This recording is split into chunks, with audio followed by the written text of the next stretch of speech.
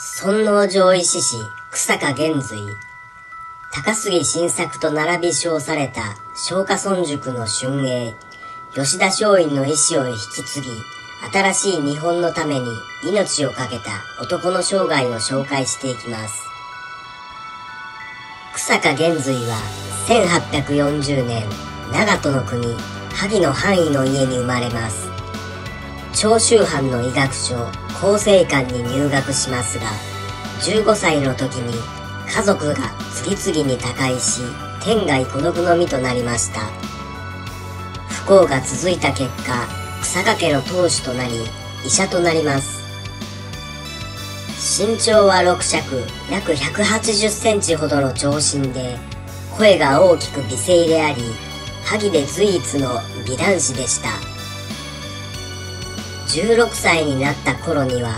早くも最地は長州藩の内外に知れ渡り、九州を遊学します。熊本にて宮部定蔵を訪ねた際、吉田松陰に留学することを強く勧められ、帰国すると吉田松陰に手紙を書きます。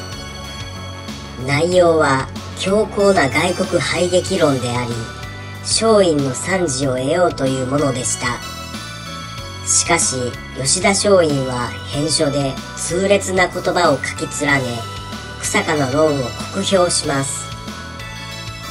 これは松陰が草加の並外れた英才ぶりを手紙で感じ、喜び、あえて批判を与えることで大いに鍛えてやろうという思いがあったのです。これに対し草加は大いに奮撃し、猛然と反論します。今度も自分の理論が正しいと誤りを認めない草加に対し説得できないと悟った松陰はその理論を認めます。この書簡のやり取りを通して草加は正式に松下村塾に弟子入りし幼友達の高杉晋作にも入門を進めます。松下村塾では高杉晋作と共に村塾の双璧高杉晋作吉田利麿入江久一とともに正門四天王と言われるほど秀でた存在になりました。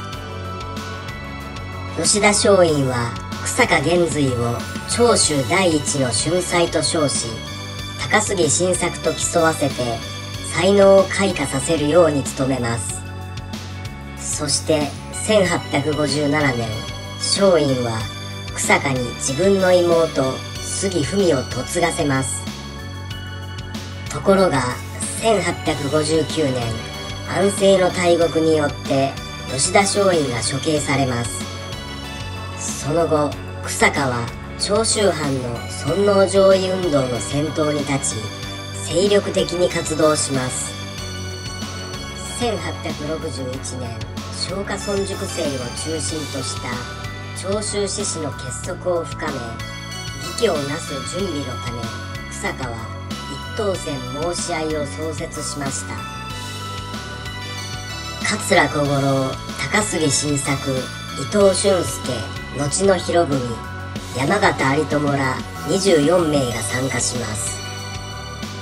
そして草加と各藩の志士たちの交流が活発となり特に長州水戸薩摩土佐の4藩による尊攘派同盟の結成に向けて尽力し草加は尊王攘夷運動反幕運動の中心人物になりつつありました。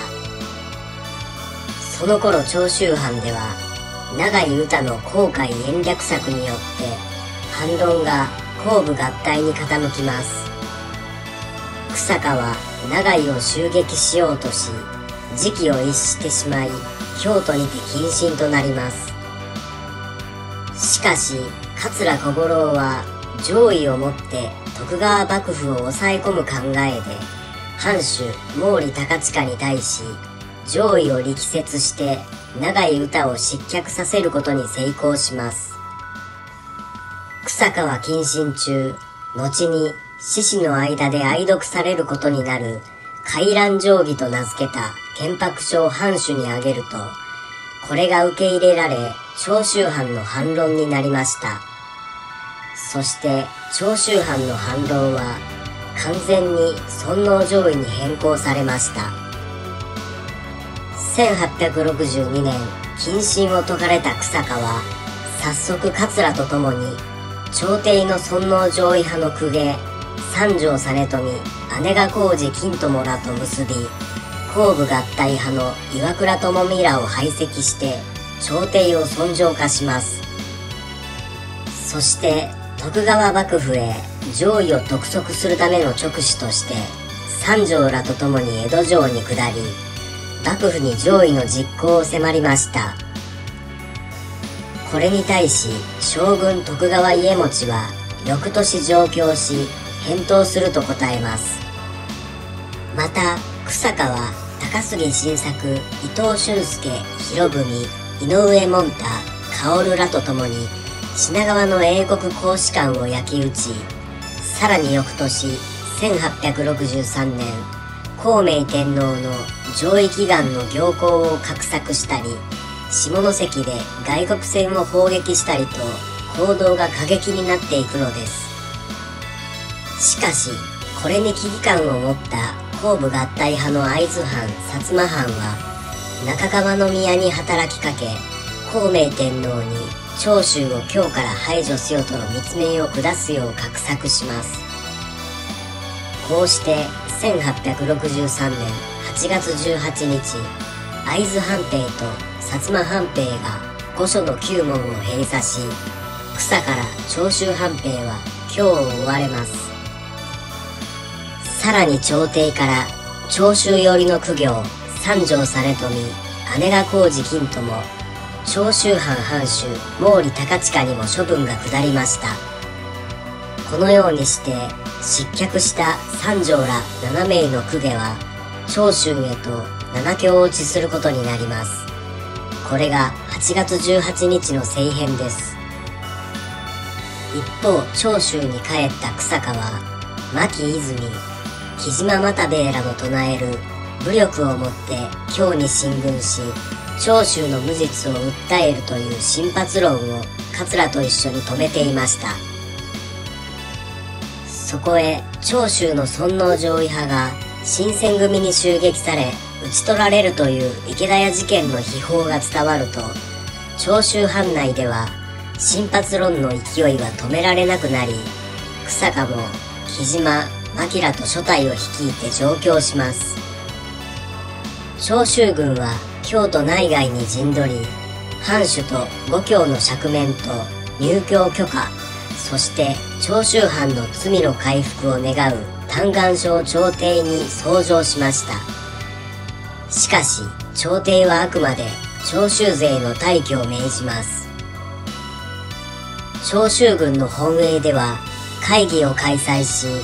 草加は朝廷からの退去命令に背くべきではないと兵を引き上げようとしますが、木島は猛反対し、詰め寄ります。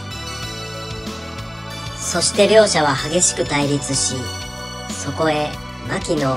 木島に同調するの一言で御所に進撃することがほぼ決まりますそして草加もやむを得ないと覚悟し自分の陣へ帰っていきました長州軍は御所に向かって進軍し会津桑名軍と交戦します。木島の戦いは見事なもので会津軍を破る寸前まで行きましたが西郷隆盛率いる薩摩軍の応援が加わると劣勢になり木島は狙撃され長州軍は総崩れになります。草加は高塚査定に入り高塚助弘に朝廷への三大のお供をし嘆願をさせてほしいと哀願しますが高塚は草加を振り切り逃亡します屋敷は敵兵に囲まれて火を放たれ、すでに火の海になっていました。流れ弾を受け、負傷していた草加は、全軍に退却命令を出し、最後まで残った寺島中三郎と共に、高塚査定内で自陣します。去年25、